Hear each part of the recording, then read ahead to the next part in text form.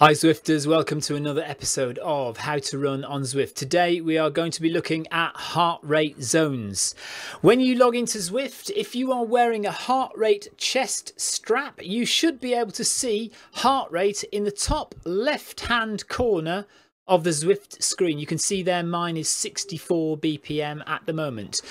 Underneath that you can see some colours, blue, green, yellow, orange and red. They are your heart rate zones. This is how runners measure their effort in running. This is how we measure how hard we're working. In cycling, they have power. Now, we do have power in running, but it's not established yet. It's not well used. We still use heart rate to measure how hard we're working. In order for Zwift to work out what your heart rate zones are, you need to set your max heart rate. Now, the way we do this is we go to menu, and you click under your name at the top, you click the little edit pen there and you get your user profile. And to the right hand side, you can see where it says max HR and mine is 180. I have manually put that in. You can change that manually to whatever you want.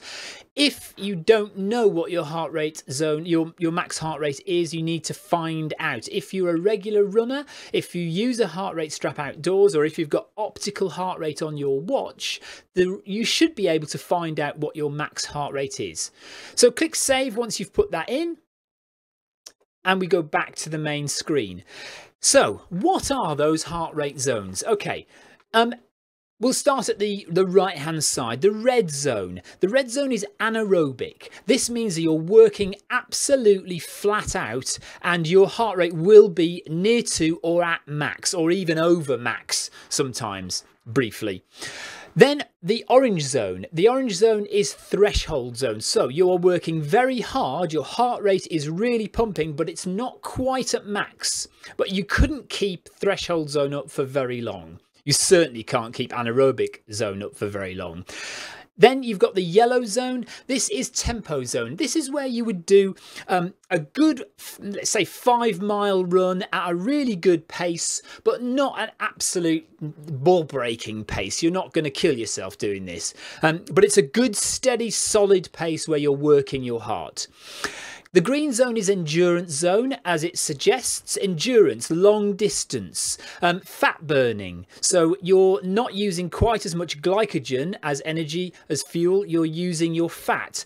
You're using endurance zone in your long runs, your 20 mile runs, your Sunday runs, your marathons, for example.